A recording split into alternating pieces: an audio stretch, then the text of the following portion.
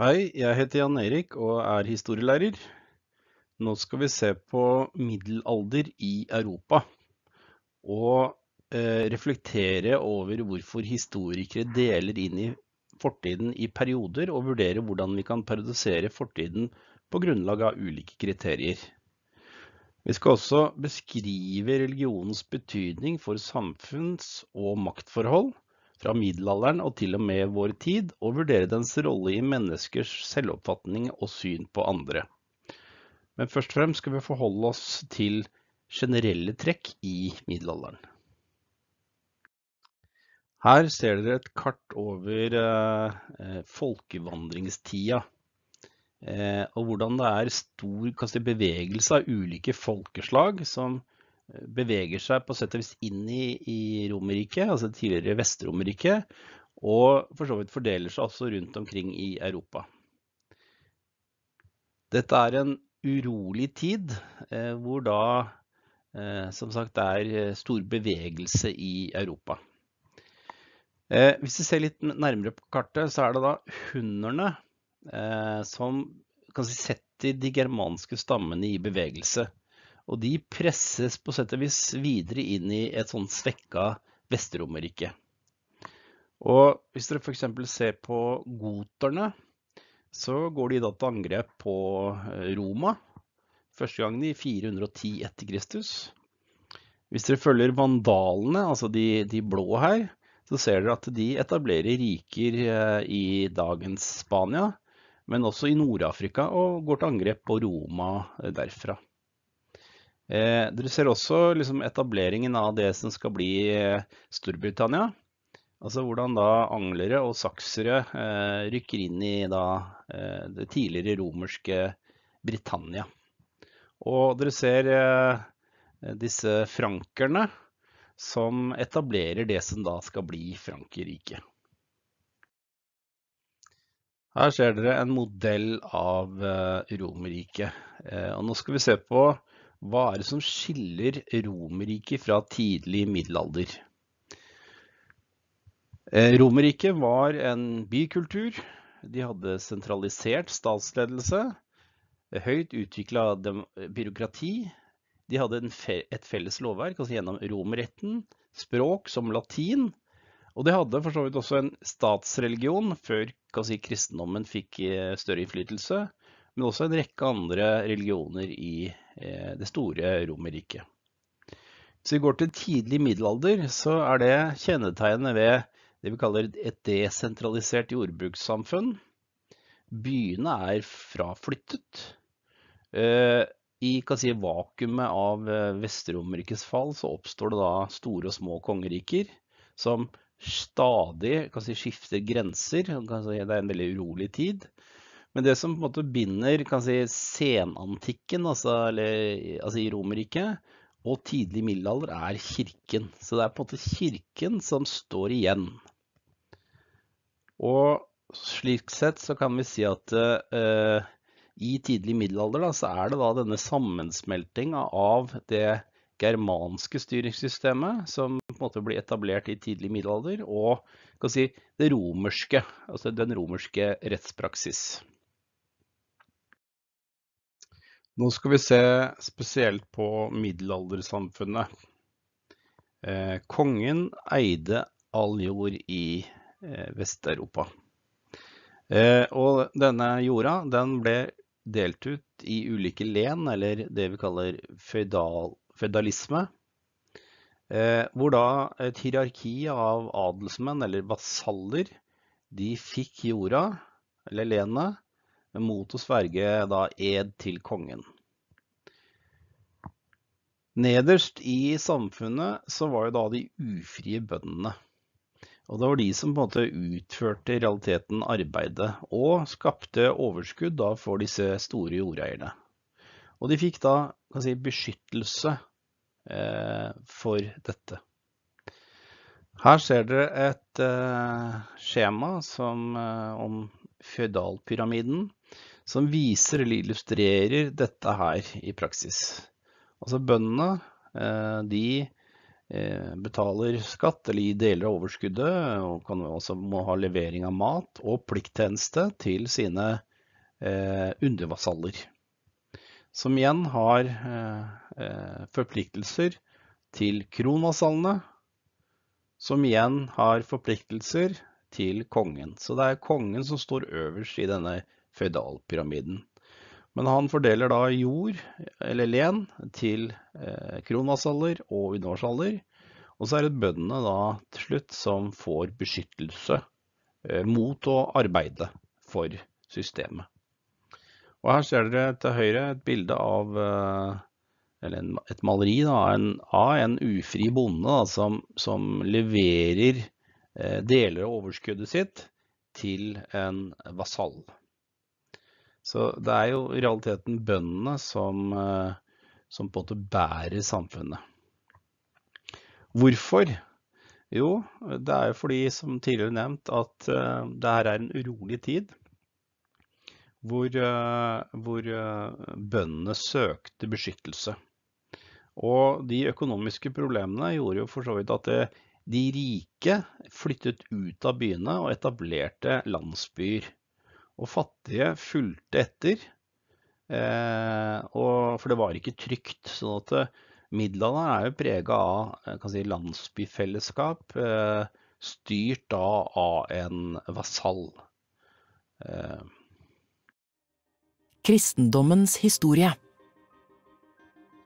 Kristendommen dukket først opp som en retning innenfor jødedommen, men brøt etter hvert ut av jødedommen og ble en egen religion. Under den tidlige kristendommen, den såkalte urkirken og oldkirken, var verken tekstene, ritualene eller troens innhold fastlagt. Ulike kristne menigheter holdt seg med ulike tekster og oppfatninger om hva som var rett tro. Religionens senter var Jerusalem, som var under romersk styre. Etter et jødisk opprør som endte med at romerne ødela tempelet i Jerusalem i år 70, forlot mange av de kristne Jerusalem. Kristendommen spredde seg etter hvert utover det jødiske samfunnet, til Roma og andre byer i Romerriket. Den spredte seg ved hjelp av omreisende apostler, som annet Paulus,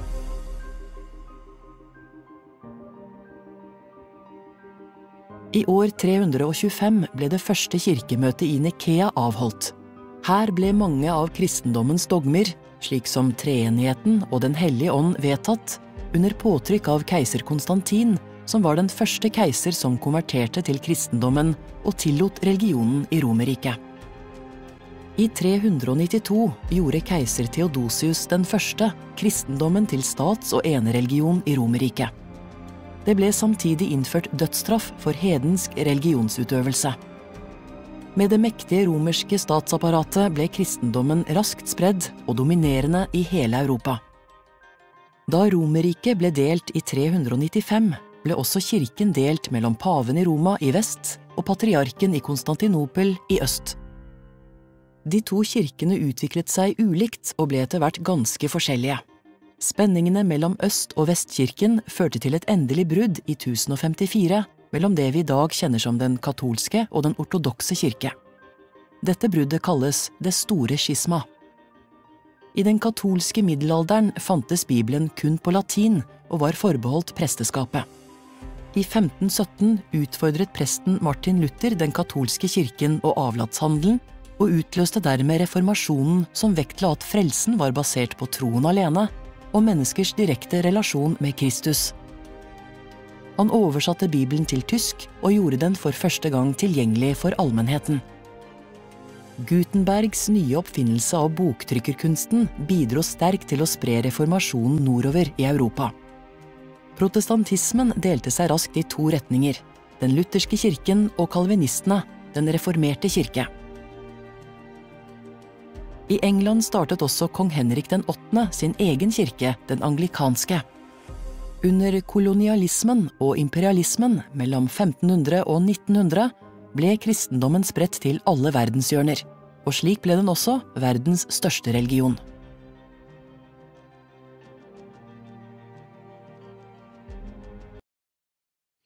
Nå skal vi se spesielt på det kristne Europa og den makten kirken hadde da i samfunnet. Øverst er jo da paven i Roma som ser på seg sjøl som eh, Peters etterfølger og kan si Guds bindeledd eh, mellom Gud og de kristne. Eh, og eh, kirken er jo som sagt den store aktøren i samfunnet ved siden av kongemakta. Lenge og som oftest så er både eh, kongen og kirken si, i en allianse og kan si øverst i systemet. Eh, fordi eh, kongen får da eh, kan si, blir vigsla av kirken og på så vis blir konge av Guds nåde. Så fremt han styrer eh, det som heter rex iustus, som er en, altså er en rettferdig konge. Eh, og det kristne, eh, altså Bibelen og alt dette her, det preger jo hele samfunnet. Altså Teologien preget folks verdensbilde og tenkemåte. Det var på en måte sannheten. Eh, og livet var jo bare en forberedelse til eh, det endelige, som var da paradiset. Så eh, det er på en måte det store eh, spørsmålet i samfunnet. Det er om man når paradiset. Men kirken var også si, en stor jordeier. Eh, eide veldig mye si, land. Og kirkens kalender styrer jo for så vidt hele, altså hele samfunnets eh, årshjul. Eh, prestene var jo prest, men var også sånn altmuligmann og sjelesørger og psykolog og sånt noe i, i sitt område. Eh, dette ble finansiert av eh, tienden, altså at bøndene måtte gi en tidel, tiendedel av eh, inntektene til kirken. Og for å sikre seg da, si, plass i paradiset, så, var, så, ble det betalt til kirken noen ekstra skatter for å bli bedt for, eller for å sørge for at døde foreldre f.eks. For slapp det billigere gjennom skjærsilden. Så dette er jo mye av fundamentet for at uh, kristne, kristendommen og kirken i Europa blir en stor jordeier og en sånn økonomisk maktfaktor også. Her ser dere et kloster. Skal vi ta litt om klosterbevegelsen, eller klostervesenet. Eh, det er si, tradisjoner fra senantikken hvor da enkelte kristne gikk ut i ørkenen og eh, på en måte viet sitt liv til Gud. Eh, på 500-tallet, gjennom Benedikt, så fikk man på sett og vis eh, systemet for klostervesenet. Og da ga munker og nonner avkall på alt som bandt dem til det jordiske livet, og de på en måte brukte hele livet da på å, å, tilbe Gud og på en måte leve etter Guds eh, eh, krav. Da. Eh, så de måtte jo da eh, frasi seg eh, seksualliv, etablere familie, ekteskap og for så vidt også privat eiendom. Men det ble jo etablert et sterkt indre fellesskap eh, blant eh, munker og nonner i disse klostrene. Eh, og i middelalderen så var det også mange som, når de hadde mange barn, da, som valgte å sende sine barn i klosteret. fordi det å gifte de bort var en dyr affære, og for å kanskje slippe medgiften til dette. Etter hvert så driver også uh, ulike munkeordener misjonering. Og så skal vi se litt på uh, I den katolske kirken så er jo helgener uh, veldig sentralt. og her har dere bilde av Sant Olav, eller Olav den hellige. og det er sånn at ulike kristne helgener kunne spille de samme rollene som si, tidligere romerske guder hadde hatt. Altså, det var jo et mylder av guder. Og for så vidt i norrøn mytologi så, så har man jo veldig mange si, guder og halvguder som, som, på en måte representerer ulike sider ved eh, livet og hvilke holdninger man skal ha. Eh, og det var også en periode med eh, altså sånn, at man søkte, og de var mye verdt, eh, ulike hellige gjenstander. Eh, hvor riktig og sant eh, mange av disse tingene var. Men, men, det var på en måte et mål å få f.eks. ei flis av Jesu kors. Og hvis du kunne bringe det til din kirke, så kunne du få eh, folk til å betale en del for å ta på det omtrent, og da eh, komme lettere til himmelen. Nå skal vi se litt spesielt på middelalderen som epoke, og, og bruke begrepet parodisering. Som dere ser her, så er jo den europeiske middelalderen delt inn i tidlig, høymiddelalder og senmiddelalder. Mens vi har en litt annen eh, utvikling i Norge, hvor da middelalderen kommer en del seinere. Eh, og sånn som utgangspunkt da, så er da eh, føydalsamfunnet etablert i det vi kaller en tidig middelalder. Eh, her bare så illustrert da med hvordan denne strukturen er. Eh, du hadde en kongemakt som var konge av Guds nåde, altså i allianse som oftest med paven og kirken. Eh, fra 600-tallet så kommer også islam eh, som religion og som sivilisasjon, da, eh, spesielt da i, eh, på den iberiske halvøya i dagens Spania. Eh, I øst så fortsetter jo Bysants, altså Øst-Romerike, å eksistere og er en maktfaktor. Si, derre alliansen er jo da knytta ofte til det vi kaller Karl den store, den altså frankerkongen, som som styrer store deler av Europa, altså med utgangspunkt i dagens Frankrike. Og da er kirkemakten og kongemakten i allianse. Eh, fra eh, 1000 så starter høymiddelalderen, og da ser vi en større grad av byutvikling og befolkningsvekst gjennom et par 300 år i høymiddelalderen. Her har dere et bilde av en, eh, si, bevart uh, høymiddelalderby i Frankrike.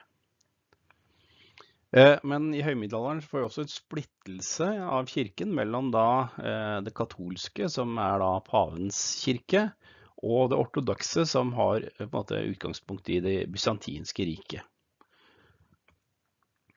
Det er i høymiddelalderen vi får korstogene, Eh, altså drømmen om å gjenerobre eh, Jerusalem da, eh, for kristenenheten mot da eh, islam, eh, som har kontrollen over det som er dagens Israel. Vi har også perioden hvor eh, kirkemakten og kongemakten er i konflikt, og det er knytta til det som heter investiturstriden som er en konflikt mellom eh, konge og, kirkemakt. For det handler om, eh, som det bildet viser, altså retten til å bestemme hvem som skal innsette biskoper. Eh, altså er det kongen eller er det paven som skal det? Og det gir en del eh, si, makt og prestisje. Så denne handler jo om egentlig hvem er den fremste i Europa? Er det paven, eller er det en tysk-romersk keiser? Og denne investiturstriden den, eh, den varer jo en periode eh, hvor ulike paver og konger eh, beskylder seg for å være Det er også en maktkamp om dette her. Så det, det preger si, høymiddelalderen. Så blir det etter hvert et kompromiss. Eh, I det vi kaller senmiddelalder, så kommer jo da svartedauden. Som eh, tar livet av eh, mange mennesker. Altså vi snakker om omtrent 60% av befolkningen i Europa. Og det preger jo da, altså, eller får jo da det store, altså stor befolkningsnedgang. Nå skal vi se en uh, liten film om uh, periodisering i denne perioden. Middelalderen har ulik inndeling i Norge og i Europa ellers. I Europa starter middelalderen ved Romerrikets fall på 400-tallet, mens i Norge starter ikke middelalderen før Norge blir en del av det kristne Europa med kongemakt og kristendom på midten av tusentallet. Overgangen mellom jernalderen og middelalderen i Norge settes gjerne til årstallet 1030 og slaget ved Stiklestad. Overgangen skjedde ikke plutselig, men endringene skjedde gradvis gjennom hele den 200 år lange vikingtiden. Landet gikk fra å være et høvdingsamfunn til å bli samlet kongedømme etter europeisk modell, fikk en helt ny religion, og de første byene ble grunnlagt, samt at vi fikk nå skriftlige kilder. Middelalderen deles inn i tre epoker – tidlig middelalder, høymiddelalder og senmiddelalder. Tidlig middelalder er tiden fra Romerrikets fall og frem til ca. 1050, når invasjonene fra de germanske stammene avtok og Vest-Europa ble politisk mer organisert og stabilt. Nå starter den såkalte høymiddelalderen, hvor en eksplosiv befolkningsvekst førte til en voldsom økonomisk vekst i perioden. Økonomisk vekst og styrking av stat og kongemakt la også grunnlag for de senere store nasjonalstatene. Med stor befolkning og år med kaldere klima, feilslåtte avlinger og hungersnød går vi inn i senmiddelalderen omkring 1300, da også svartedauden reduserte befolkningen i Europa til det halve på kort tid. Det ble nedgangstid, med økt sosial uro og ufred, men perioden ga også en ny gryende interesse for naturen og for antikkens vitenskap og filosofi. Senmiddelalderen ga dermed også stor fremgang innenfor blant annet kunst og vitenskap, som igjen la grunnlaget for opplysningstiden.